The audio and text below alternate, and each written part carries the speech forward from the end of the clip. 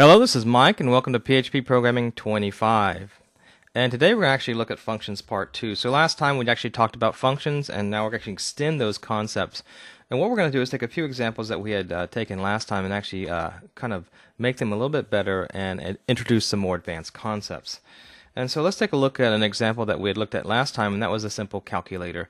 And what we had done, we had created several functions, one for addition, and then there was one for subtraction, and then you had division and multiplication. And we're going to combine all those and show you how to do a multiple return.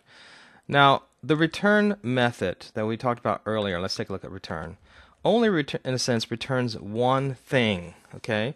But that thing can be an array. So using that array, you can actually return multiple values. And we're actually going to use this in the future in, in many different programs. And so what we're going to do is just take all those functions uh, that we had created earlier and combine them just into one function.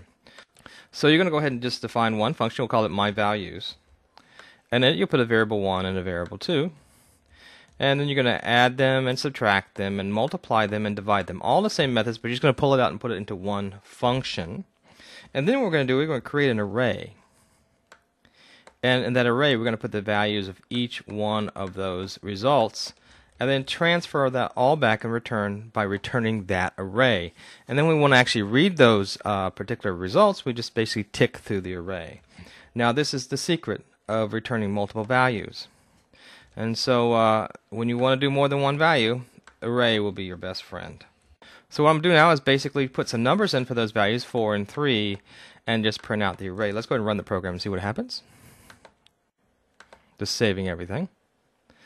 And you can see 4 plus 3 is 7, uh, 4 minus 3 is 1, uh, 4 times 3 is 12, and 4 divided by 3 is 1.33333.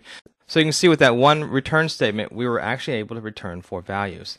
Okay, let's take a look at another example that we're going to turn into a function. Previously, we had worked on a passwords example. Let me scroll down to it. And that passwords example, we just ran it once in a PHP statement. But it would be nice to have a function that basically um, runs it whenever you need a password. And so you can see I actually had the function commented out. So you're just going to uncomment this and create a function out of it, and then we're going to run that. But we're going to use this for a more advanced example later on. So let's take a look at this example real quick. So in this passwords example, what I've done is just taken all the code from the previous password example and I threw it into a function. And I called that function ranpass, which is going to give me back a random password. So I just enclosed it in the parenthesis, and then at the end I run the ranpass method. Now, notice that I don't have any arguments here. Why not? Because I'm using something, a very important concept I want you to pick up here, and that's the idea of a default argument. Isn't that pretty cool? What I've done is I've actually set arguments in my array, and set them equal to a number.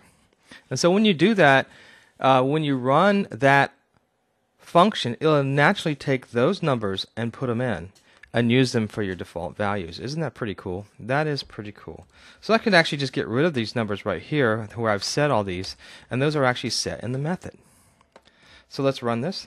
And I'm always making uh, functions with default arguments. It just saves you a lot of time and headache and keeps you from making an error. So if you leave something blank, it'll still run the function. And if you know what it's supposed to run most of the time, then that's good. And if you want to change that, then you pretty much just put whatever values you want in there to change it. Let's run this and see how it goes.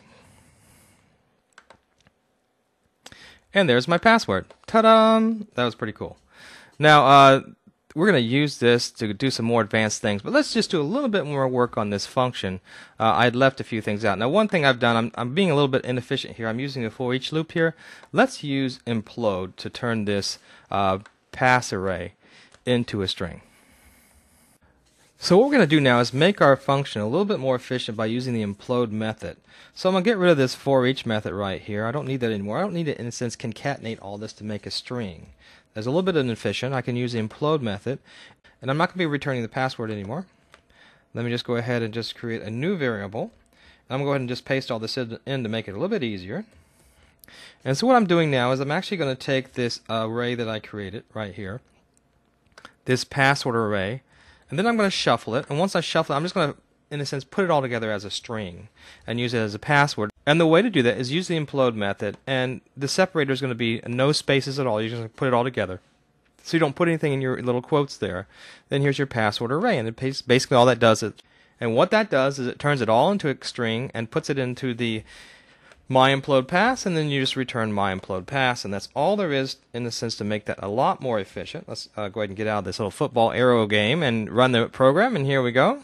And it returns the password just like previously, but now just done a lot more efficiently. We're going to need that method.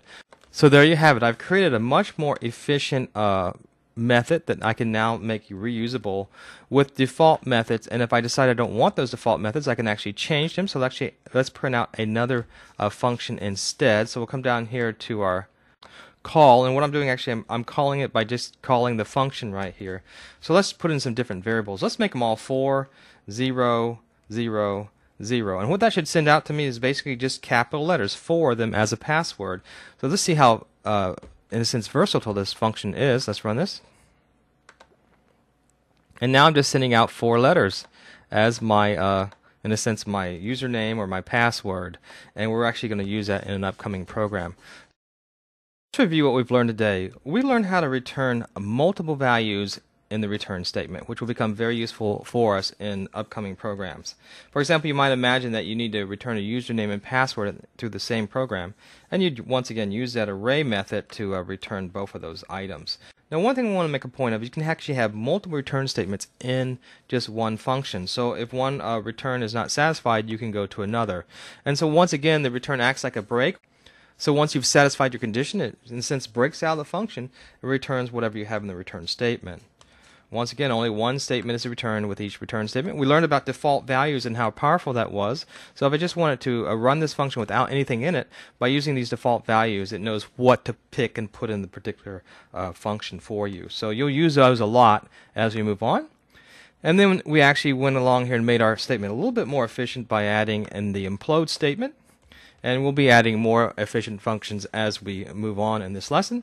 And we learned that we actually, once we've actually created those default values, we can actually put any value in there, and we generated a password with four capital letters just by just by setting everything else to zero.